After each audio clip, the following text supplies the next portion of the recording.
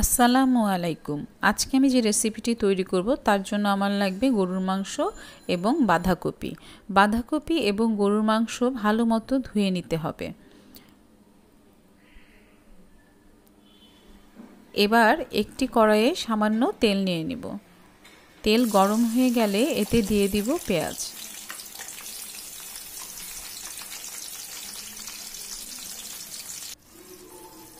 পেঁয়াজটা এবার ভালো মতো তেলে ভেজে নিব। পেঁয়াজটা হালকা নরম হয়ে গেলে এতে দিব তেজপাতা, দারচিনি, এলাচ এবং লবঙ্গ।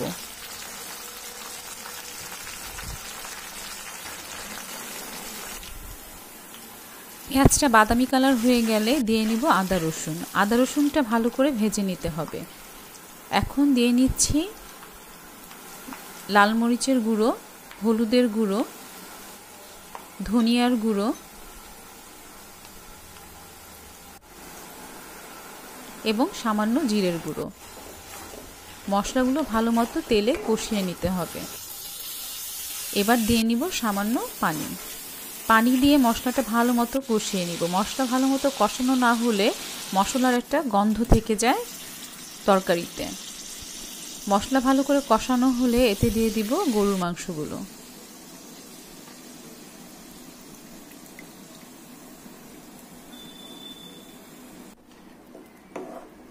গরুর মাংস দিয়ে ভালো করে মাংসটা মশলার সাথে মিশিয়ে নিব।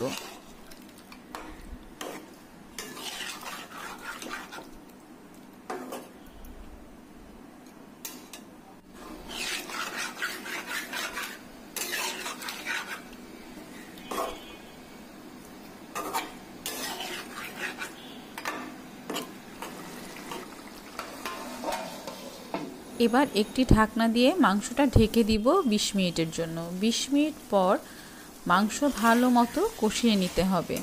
মাংস ভালো মতো কষানো না হলে মাংস খেতে কিন্তু মজাদার হবে না। মাংস যত ভালো করে কষানো হবে, মাংস খেতে তত সুস্বাদু লাগবে।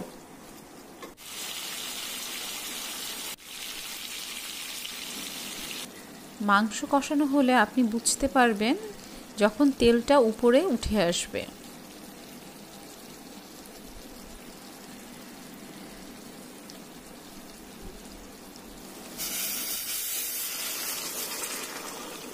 এখন আমি গরুর মাংসে দিয়ে দিব গরম পানি। মাংসতে গরম পানি দিলে মাংসটা খুব তাড়াতাড়ি নরম হয়ে যায়।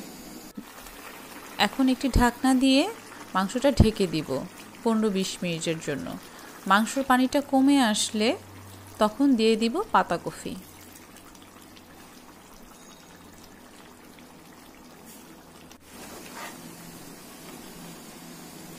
পাতাকপি দিয়ে ভালো করে মাংসর সাথে পাতাকপিগুলো মিশিয়ে নিব।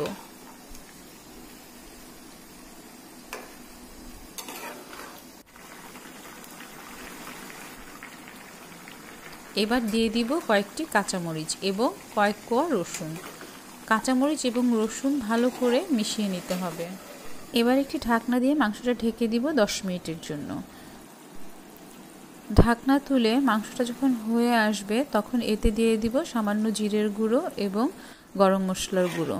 এবার ভালো মতো মাংসটা নেড়ে চেড়ে দিতে হবে।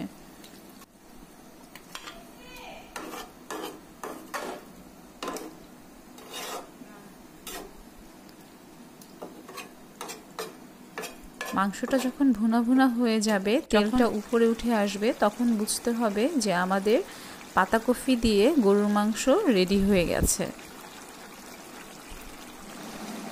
এই তো হয়ে গেল আমাদের পাতাকপি দিয়ে গরুর মাংস। মাঝে মাঝে এরকম ভিন্ন ধরনের রেসিপি খেতে কিন্তু ভালোই লাগে।